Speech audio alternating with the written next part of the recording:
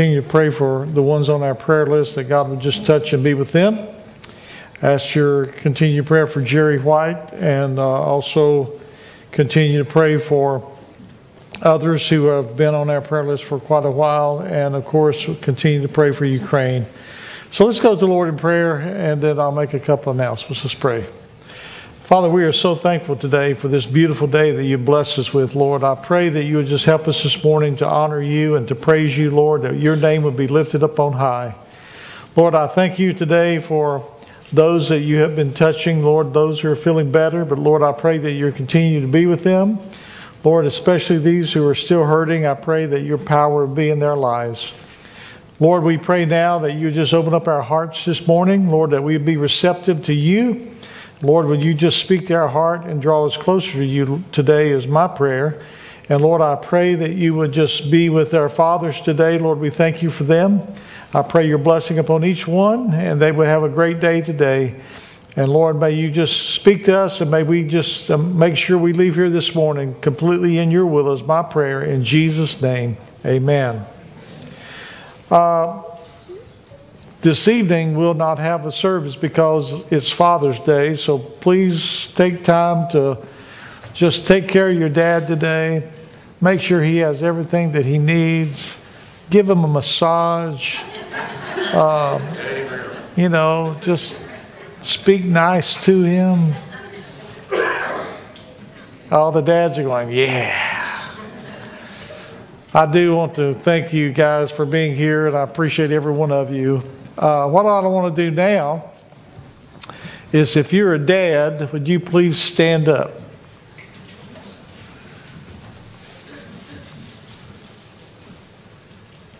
That's a good looking crew right there.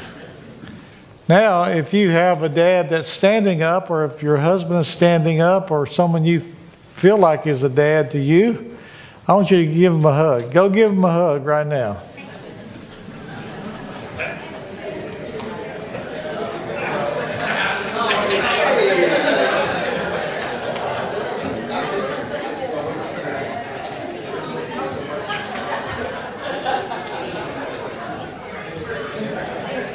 on stage. Thank you. All right, y'all can be seated. And at the end of the service today, we're not going to do that right now, but at the close of the service, when you start to go out, guys, please go out the center because we're going to have some gifts out here for you, and you will not want to miss out on it. I guarantee you that. So please go out the center aisle and Patty is going to be out here handing out uh, something good for you, and I hope that you enjoy it. And I need to tell you that the things that she's going to be handing out has nuts in it. If you have a nut allergy, we're sorry. Just give it to me. no, if you, but if you have a nut allergy, you, you don't want to eat it because it might do you some harm. But anyway, I just need you to know that. All right.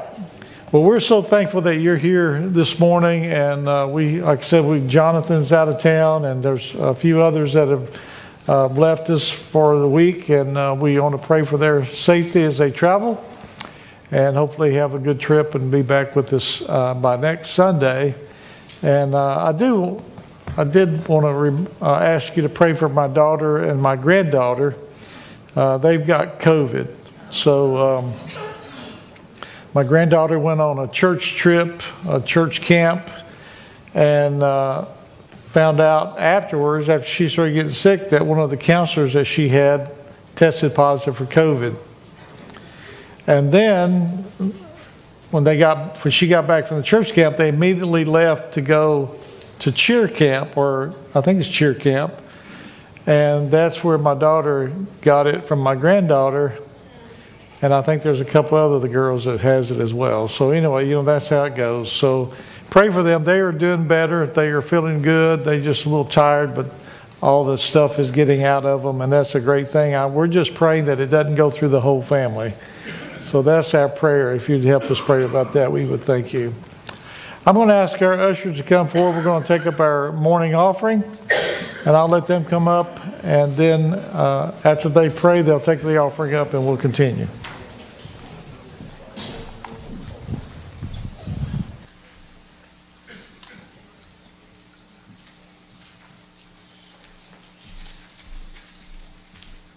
Let's pray. Heavenly Father, just thank you for letting us be in your house this morning and worshiping you, Lord. Just thank you for this blessed day that you've given us and all the fathers, Lord. Thank you for being our, our ultimate Father, Lord. Thank you for sending your Son to the cross for our sins.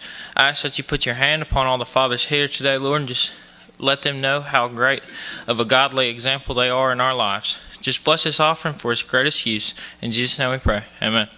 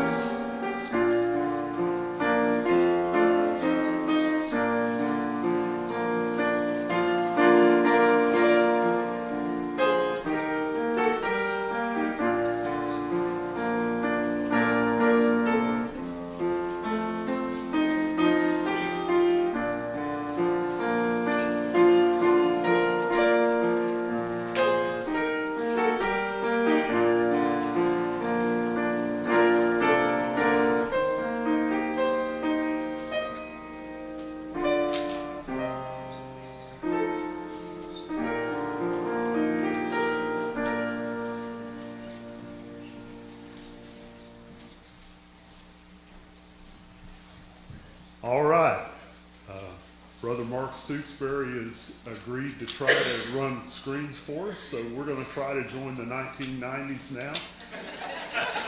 And I'm going to give you your choice. You could have it on the screens. You can use your hymnal. We're going to start at 154. 154, we're going to do What a Friend We Have in Jesus, all three verses. Uh, be praying for. Brother Jonathan today. He is, uh, I think, at the Ark, if I remember right what he told me. And I would not want to be doing the Ark with the number of children he's got, I'll guarantee you, because I couldn't keep up with him. 154, stand with me and we'll sing What a Friend We Have in Jesus.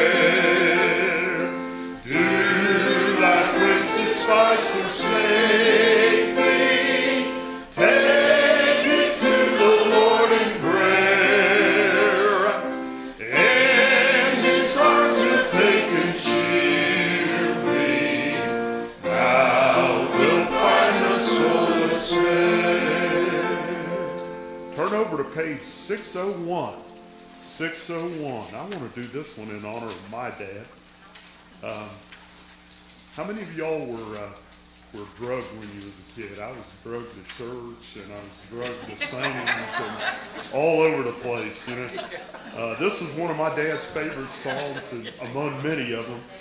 And uh, I'm I'm used to doing this. a little probably a little more country than we'll do it today. But let's sing all three verses of "I'll Fly Away."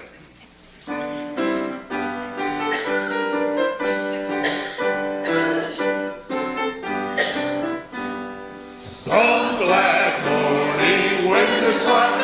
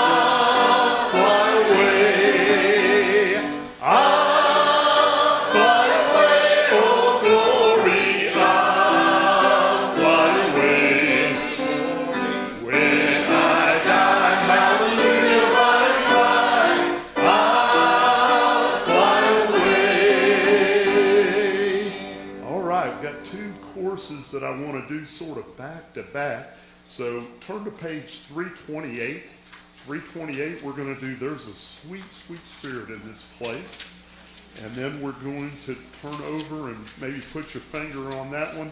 We're going to do 158. 158 will be right after that. And uh, then we'll turn it over to Brother Jay and hear what he's got for us about fathers today.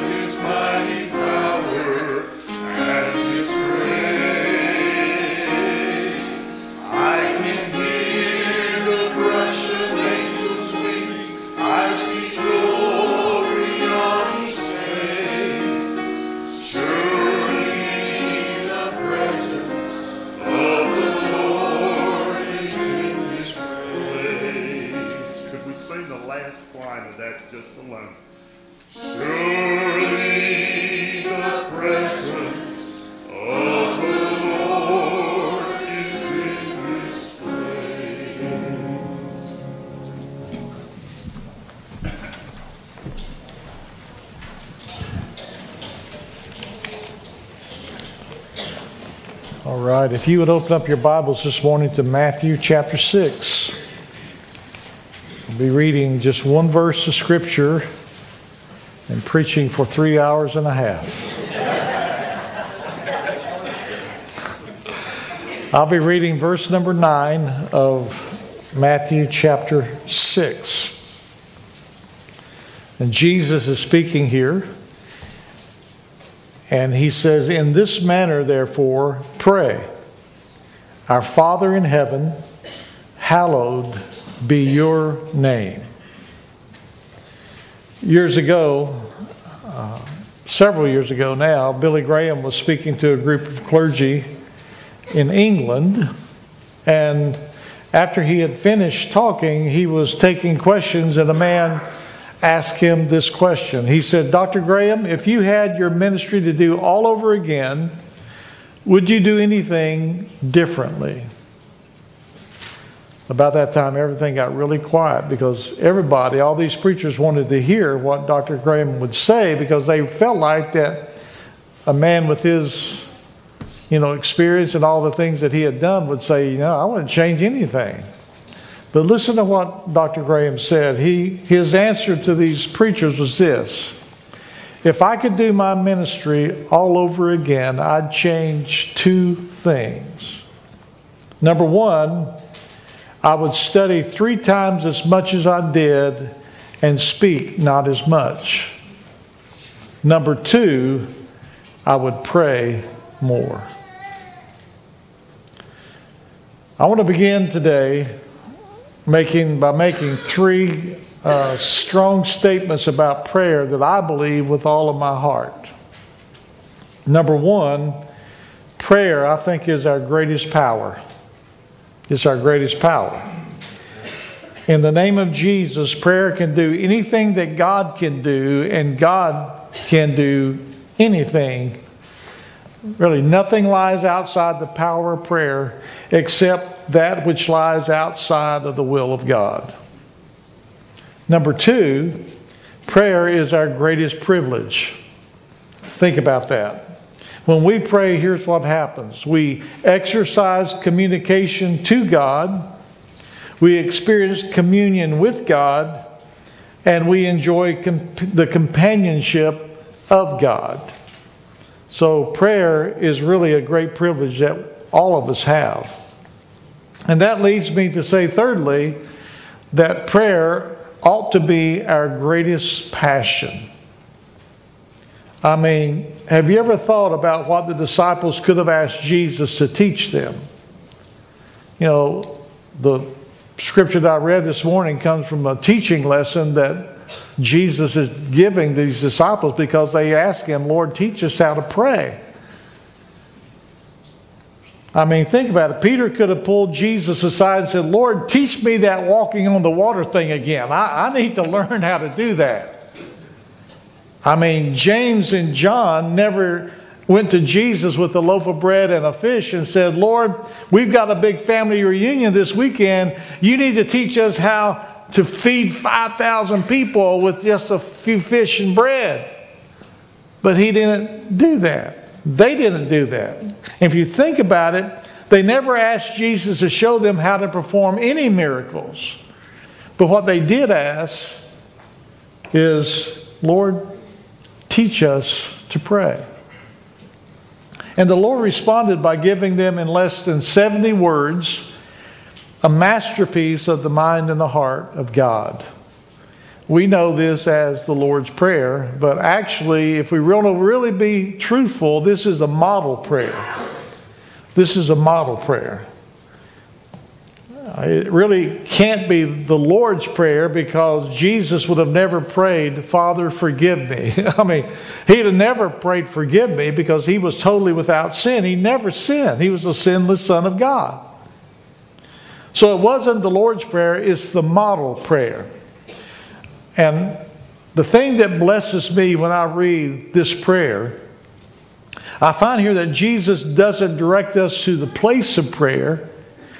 He just says, you pray anywhere you want to. It really doesn't matter. Just pray. He doesn't define the posture of prayer. You can pray standing up. You can pray sitting down. You can pray walking. You can pray kneeling. You can pray driving your car down the highway. And I've done that many, many, many times. It really makes no difference to God what your posture is. As long as you're praying, that's what really counts. And he really doesn't even direct us to the period of prayer. You can pray in the morning, you can pray at noontime, you can pray at supper time, you can pray anytime or all the time. And when you think about that, the Bible says we ought to pray without ceasing.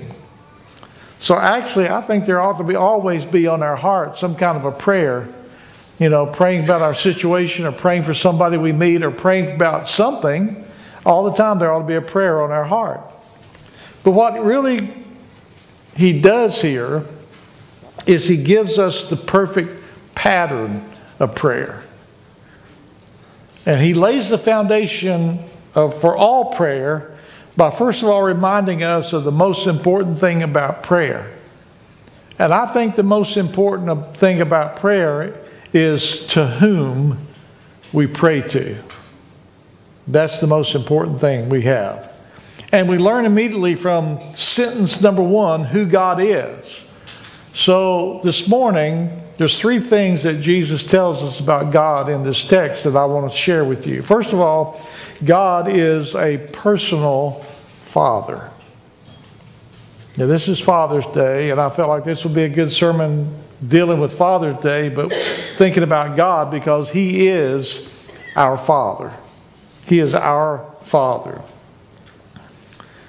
Those two words, He's our Father, really tells us volumes about our relationship with God. Number one, it's an intentional revelation. I mean, several years ago, there was a movement started that uh, people wanted to scrub the scriptures clean of any male reference to God. Do you remember that? I still remember that.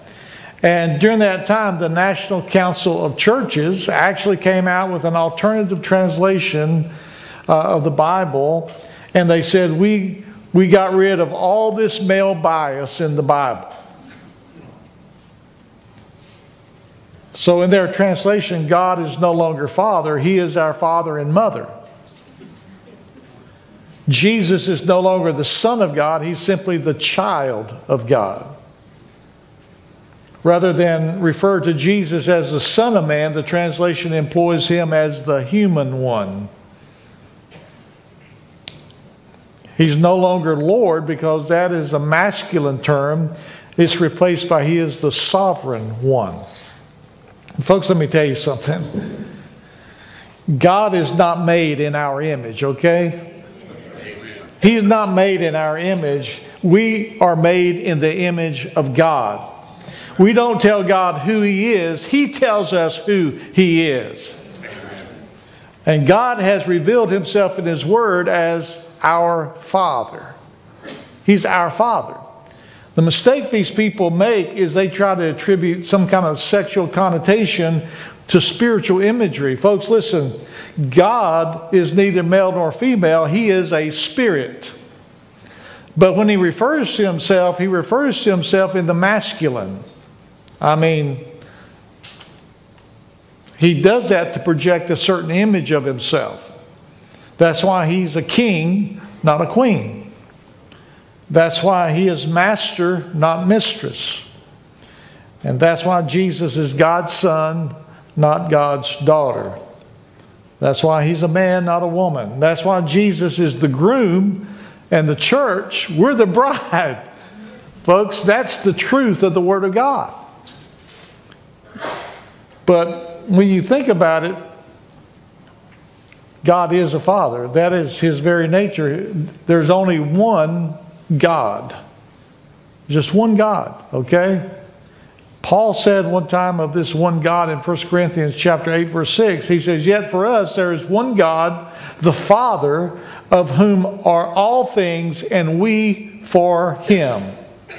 And then Paul goes on and he tells us that one day the Lord Jesus is going to return. And when he does, Paul says in 1 Corinthians chapter 15, verse 24, then comes the end when Jesus delivers the kingdom to God the Father.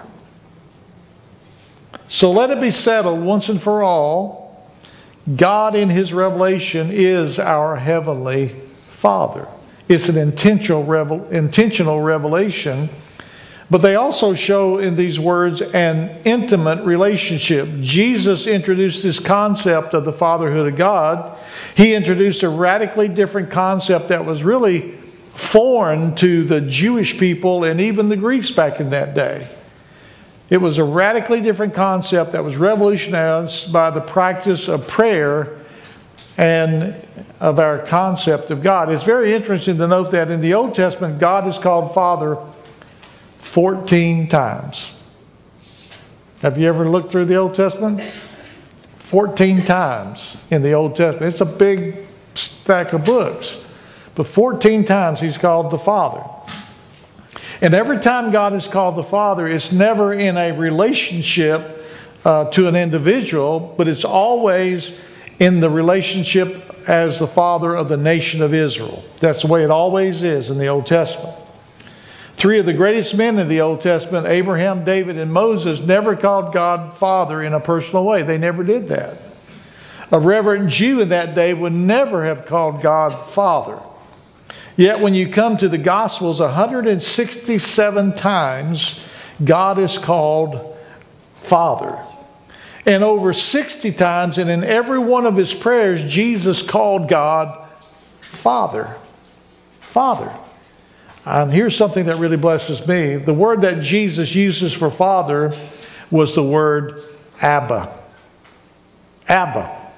In the little word that a child would use. Abba. Literally, that word means daddy. I love that. Daddy. The two first words that most children learn are mama Daddy. When I heard my daughter call me Daddy, my heart about popped out of my chest. I knew she knew who I was. She understood that I was her father.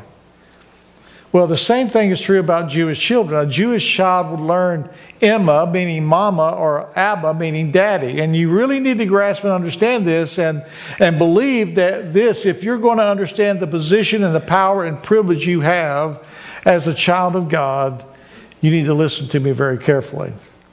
When you pray, you do not come as a slave to a master. You do not come just as a citizen to the king, but when you pray, you come as a child to the Father. Isn't that beautiful? I tell you, it's beautiful to me. We are praying to a God whose love desires the best for his children, whose wisdom decides the best for his children, and whose power delivers the best for his children. So when you pray to God, the first thing you need to remember is this I am praying to, a, to my personal Father. He is my Lord and He's my personal Father. But not only is, he, is God a personal Father, He is a powerful force. In verse 9, Jesus says, Our Father in heaven in heaven. Now, I want to ask you a question. Why would Jesus bother to add something like that that seems just like he's tacking words that we really don't need to hear? I think the reason he says our Father in heaven is because he wants to eliminate two problems that people have in our prayer life. And the first one is an excessive formality. That's the problems that the Pharisees had. I mean, they saw God as some distant deity. He's far removed from the cares of and concerns of our daily life. That's what they saw him as. To the Pharisees, he wasn't a God that you could have an intimate relationship with as a child. Uh, they didn't understand the relationship that we have with him, that he is our Father. But there's another problem that some of us have, and that's excessive familiarity. And let me try to make this clear God is our Father, He's not the man upstairs. You ever heard people say the man upstairs? That always bothers me. Today, many see God as some kind of a cosmic bellhop that is, is subject to our beck and call, and some kind of a ecclesiastical teddy bear who winks at sin and just accepts us whatever, however we want to be accepted. But, folks, listen. Jesus teaches us in the first few words of this prayer that on one hand, God is not some kind of fire breathing impersonal deity who delights in zapping people when they get out of line. He's not that kind of God. But on the other hand, He's not some namby pamby, you know, 96 pound weakling who, uh, who's just a shade higher than the angels and just a tad higher than man. God is much more than that. And I hope that we understand that. Jesus says He is God in heaven. He is God in heaven. Now, what does that mean? Number one, it means that God is omniscient. Think about that. God sees all and God knows all. Psalm 139, verses 1 through 4 says this O Lord, you have searched me and known me. You know my sitting down and my rising up. You understand my thought afar off. You comprehend my path and my laying down and you are acquainted with all my ways. There is not a word on my tongue, but behold, O Lord, you know it all together. Now think about that. God is not only knowing, He is all knowing. He's not just wise, He is all wise. The psalmist says, He knows your thoughts afar off. I mean, think about that. He knows your mind right now.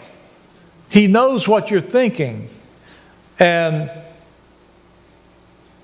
basically, God knows if you're listening to what I'm saying or if you're thinking about what's after this, when, what's when we're going to eat for lunch. You know, oftentimes I wonder what people are thinking, but I don't know. I don't have that power, but God does. Your mind may be thinking, oh, they're going to take care of me today. I'm a father. I'm such a blessed person.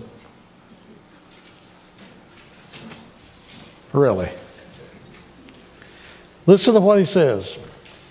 For there is not a word on my tongue, but behold, O Lord, you know it all together. God knows what you're going to say before the words even come out of your mouth. He knows everything about you. He's omniscient, but he's also omnipresent. And that means you cannot go where God is not. You know, the psalmist says in 139, verses 7 through 9, Where can I go from your spirit? Or where can I flee from your presence? If I ascend into heaven, you're there. If I make my bed in hell, behold, you are there. In other words, the psalmist is saying, you, you can run, but you cannot hide from God. And how many of us have tried to do that? Most of us probably at one time or another. There's not a crook or a cranny that is hidden from His sight. He knows everything about us and He knows where we're at. That's why the Lord said in Jeremiah 23 24, Can anyone hide himself in secret places so I shall not see him? Do I not feel heaven and earth, says the Lord?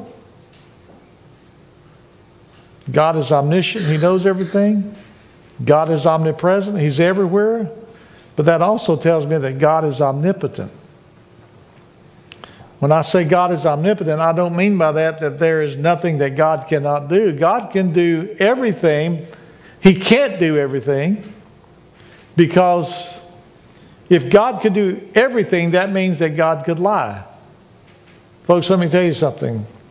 When I say that God is omnipotent, I mean that God can do anything that does not deny his character or defy his power or decry his truthfulness. And in that same sense that Jeremiah said, O Lord God, behold, you have made the heavens and the earth by your great power and outstretched arm. There's nothing too hard for you. You ever been a place in your life that you didn't know what you was going to do? And you cry out to God? Why do you do that? Because what's hard for us is not hard for God. God can help us in whatever situation we may be in. I tell you what's wrong with our churches today, folks. We don't even have a concept of the awesome power of God. We have lost that sense. We've lost the wonder of our great God. Folks, we need to regain the concept of an omnipotent God. We need to remember that when we pray, we're praying to a God who is so powerful that he can do exceedingly and abundantly above all that we even ask or think. That's the God I serve. He's a powerful force. But then, thirdly, we need to understand that God is a praiseworthy fact. Notice Jesus goes on in this first part of this prayer and he says, Hallowed be your name. The word hallowed means to sanctify. It means, in a way, to give it honor, to, to give it glory, to give it praise, to, to give it an, an uplift, to exalt it, to magnify it, to glorify it, to sanctify it. We are to hallow the name of God. Now, the very concept of God properly understood tells us two things. Number one, God's name reveals his righteousness. That's why we are to hallow his name. Now, today, for us, names are not that big of a deal because we think of names just as a, an identifying tag. That's why you have the name you have, it just identifies you. You're fortunate because you got a name. I didn't get a name. I was so well thought of as a baby that they just said, oh, I would just give him initials. He doesn't deserve a name. I'm joking about that. Anyway. But to a Jew, a name was very important. You know why? Because the name indicated character. It indicated character.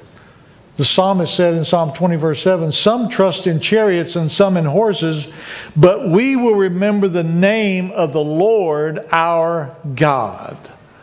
Folks, listen.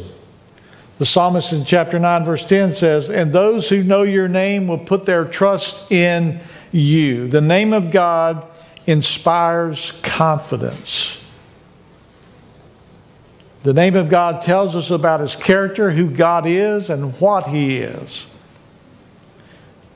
To the disease, he is Jehovah Rapha, the God who heals. To the distress, he is Jehovah Shammah, the God who is present. To the destitute, he is Jehovah Jireh, the God who provides. To the distraught, he is Jehovah Shalom, the God of our peace. The Lord's name reveals his righteousness. But number two, the Lord's name also requires our reverence. In Psalm 29, verse 2, it says, Give unto the Lord the glory due his name. Worship the Lord in the beauty of holiness. To hallow the name of God means to bring, to bring glory to his name, to bring glory to it. It means never to do anything, to say anything, to go anywhere, or to be anything that would bring shame to the name of our wonderful, powerful God. Jesus said in John 12 28, Father, glorify your name. That's what our prayer ought to be. Father, help us to glorify your name. Oh Lord, everything that we do in this church, for this church, with this church, Father, glorify your name, magnify your name. Lord, let your name be above everything and anything that we ever choose to do. God, we want your name to receive all the praise and the honor and the glory. Now, that raises a very important question this morning Is God your Father? Is He your Father? Folks, listen, there's no such thing as a universal fatherhood of God because Jesus said to the Pharisees in John 8 44, You are of your father, the devil. You say, Brother Jay, I want to be a child of God. How do I get God as my father? Well, Galatians 3:26 says, For you are all sons of God through faith in Christ Jesus. Folks, that's the only way. You can know God as Father, but you can't do that if you don't know Jesus as the Lord and Savior of your life. Jesus said in Matthew 11 27, All things have been delivered to me by my Father, and no one knows the Son except Father, nor does anyone know the Father except the Son, and the one to whom the Son wills to reveal him. See, Jesus wants to reveal himself to you today. He wants to show you who God the Father is. I want to finish today with a little story that comes out of ancient Rome just a couple of days ago. no, I'm kidding. Ancient Rome. The emperor had been away in a battle and he had won a great victory. So he sent word that he was about to return, and the people prepared this great parade for him. They lined the streets and they saw the army marching into the town. And as they began to march in perfect formation coming into that town, behind them they saw the splendor of the, of the emperor riding in that chariot. The legionnaires were standing along the roadway to keep people from running into the streets. They were blocking the path. Behind the emperor were the spoils and the trophies of war, and behind them were the captives of the war. The emperor's family was standing on the platform that had been built for them so that they could view him as he came into town. They saw the magnificence of it all. But then there was the emperor's little son, and he finally saw his father coming. And he told his mother, I'm going to go see father. And he was off, running down there, and he got down off the platform and he went down to the street and it was so crowded. He was pushing himself through the crowd trying to get to the street so he could see his father. Finally, he squeezed his way up to the very edge of the road. And when he tried to go left or right, he couldn't because there was a big legionnaire standing there blocking his path. And the legionnaire catches him and he pulls him back and he says, Son, that is the emperor. You cannot run out to his chariot. And the little boy says, He may be your emperor, but he's my father. Listen, folks, I want you to think about this. The God who scooped out the oceans and built up the mountains, the God who flung all the stars in space, who hung all the planets in orbit, can be your father. He wants to be your father. And I want to tell you something this morning, and I hope that you can say the same thing back to me. God is my father. It's my father. Not just my creator, he is my father. And I pray and I hope that he is your father. John 1:12 says, "But as many as received him, to them he gave the right to become the children of God to those who believe in his name." So I want to ask you again, is God your father? Is he your father? Wouldn't you like to leave here knowing that today? I mean, there is a peace that comes into your life when you have God as your Father. You know that you're the child of the King of Kings and Lord of Lords. Well, I want to tell you this morning that if you'll trust the Lord Jesus, cry out to Him and ask Him to come into your life and to forgive you of your sin, you can leave here today knowing for the rest of your life, God is my Father and He's going to take care of me. Maybe you need to come this morning and enter into the family of God. I'm going to ask Vern to come up and lead us in an invitation hymn. And if the Lord's been speaking to your heart this morning on this Father's Day when we're honoring our fathers, the one that we need to honor beyond anyone is the God of creation. I want you to stand with me. And as we sing today, if the Lord's been speaking to you and drawing you and saying, This is what you need to do, you need to accept me as Lord of your life. You need to believe in my son Jesus who died on that cross so that you could have forgiveness of your sin and you could have a home in heaven. I hope that you'll come and call on his name and be saved this morning.